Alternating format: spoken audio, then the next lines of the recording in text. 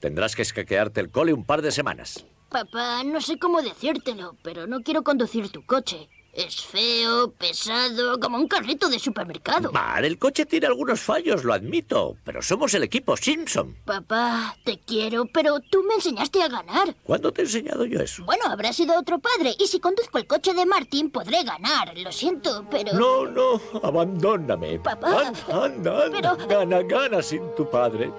Yo me quedaré aquí con el pequeño rayo fabricado por los Simpson, recordando que durante un breve pero feliz momento tuve un hijo.